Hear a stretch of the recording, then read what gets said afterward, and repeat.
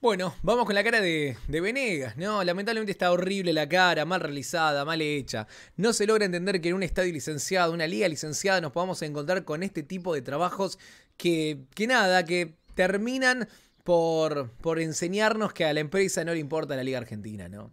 Lamentablemente, mal hecha, mal hecha.